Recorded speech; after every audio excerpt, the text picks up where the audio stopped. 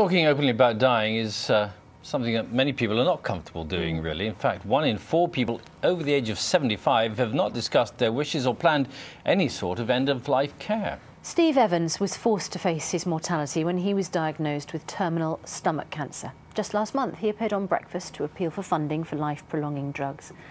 Despite his situation, Steve was positive. John Maguire went to meet him. Well, it's nice to see you. Thanks for coming. So, this is the garden. This is the tree, which will soon shed and give me another job. And this is the fabled summer house. Spend some time with Steve Evans, and you step into a world filled with family, laughter, and magic. What was the card, my friend? Six of Hearts. You should have told me. that will be that one then. I don't think so. They could. I don't think they could watch it all again. I don't think they could watch it all again. As well as performing as a magician, he was a chief building surveyor at Wolverhampton City Council, a manager at the Civic Hall concert venue, and helped to run huge music festivals, but was forced to retire by terminal stomach cancer. In October 2011, he almost died, and at that point realised he'd made no plans for his death. I could only think about the fact that I'd let people down. And irrational things were coming into my head. The fact that I'd left my study in a mess for them, other people, my family, to tidy up. And I'd got nothing in place. They didn't know anything that I wanted, and my life's got so many different facets in it. That wasn't logical, surely. And I concluded that it's because I simply thought that my responsibilities didn't end when my physical life did. I couldn't give it any more conclusion than that. Steve takes me to one of his favourite places, the Wolverhampton Civic Hall. This is one of my happy places. Me and the Civic have got a lot in common. We're oldish, a bit broken, and loved. And I'll settle for that. So this is where I live spiritually. Because when you've got a happy place, you can be anyone you want to be. And when I'm here, I don't have cancer. Good, isn't it? For a man with so many friends and such a full life, the reality of his time running out has been incredibly tough for everyone. But I think it's how you approach it that, that, that is the solution. Because um, you, I don't think there is a template or a framework for, for discussing your final days. I think it has to be how it works for you and your family. How it works for me and my family, they let me get on with it. And I know if they weren't happy, I would have been told. He has now made plans, meticulous plans, for his funeral and for the lives of those he will have to leave behind. I found the writing of the document to be very stressful and I cried a lot. But once it was down, uh, it was down. I'm a person who plans and I've found solace in putting incredible detail into my document. But it doesn't have to be that. I think it's whatever people want it to be.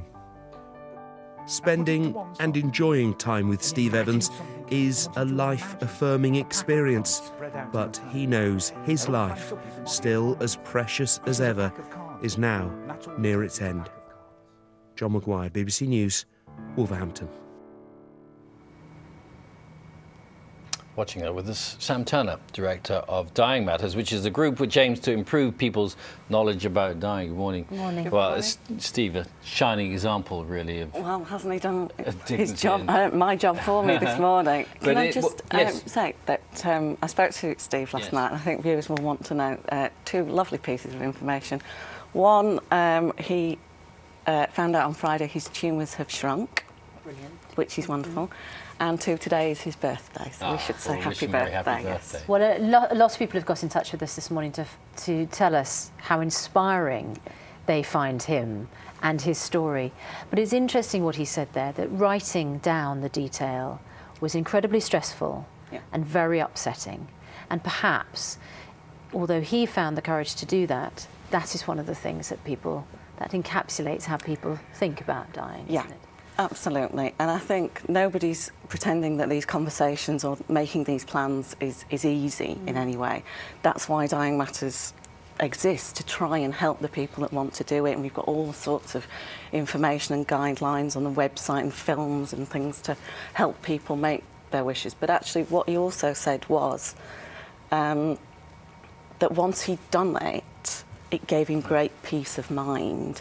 And he, Steve, actually got a chance to do it when when he was dying and he realised the importance and he was quite lucky Yeah. in a, in a funny the- way because then he went went on and made his plans and now he's he's got them in place he can Yeah. get, there, there is get on with the naturally rest of his though life a, a lot of fear of of death, and some people may feel a little bit squeamish about it, in such as think if I start making plans, it might make it more likely to happen early. You know what I mean? Tempting fate in that mm. respect.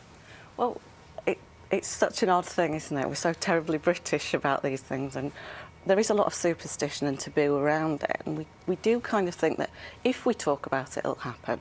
And somehow, if we don't talk about it, it won't happen. What, and at what neither age of should you those start? At what age do you think you should start thinking I about think the, the sooner the better. All So my, have you made a plan? All my plans are in place. Really? All my plans, all my family.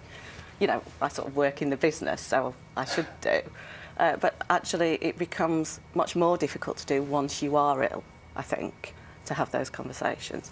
And yeah, to think about it, because none of us know. None of us know what will happen. We don't know what's going to happen, so how can you plan for something you don't know? Because, for instance, you might be, you know, you might suffer a stroke, you might have terminal illness, and in those two different cases, you would want to be treated in, or you possibly would want to be treated in different Well, ways. absolutely, and and but that's the reason to plan. So what we're asking people this week to do is have a will. Incredibly important to not leave people in a in a mess afterwards. Um, plan their funeral or their wishes for their funeral. Um, think about the care and support that they would want. And of course, it'll change depending on, on what happens to you.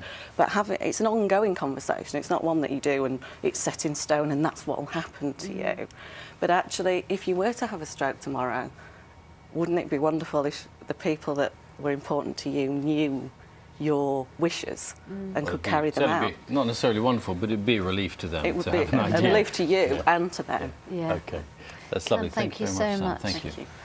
Let us know what you think about that. 28 minutes past seven.